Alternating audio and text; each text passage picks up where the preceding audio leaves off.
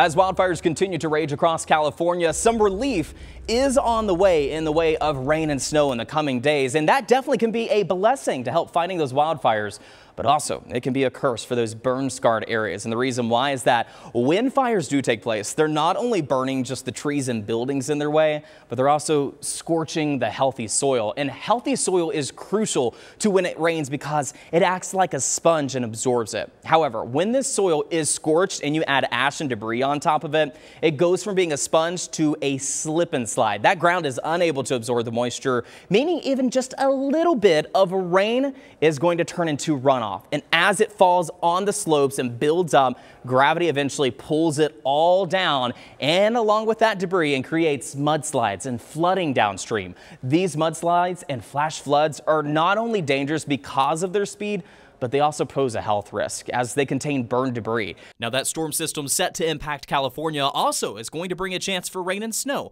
across the state of Arizona.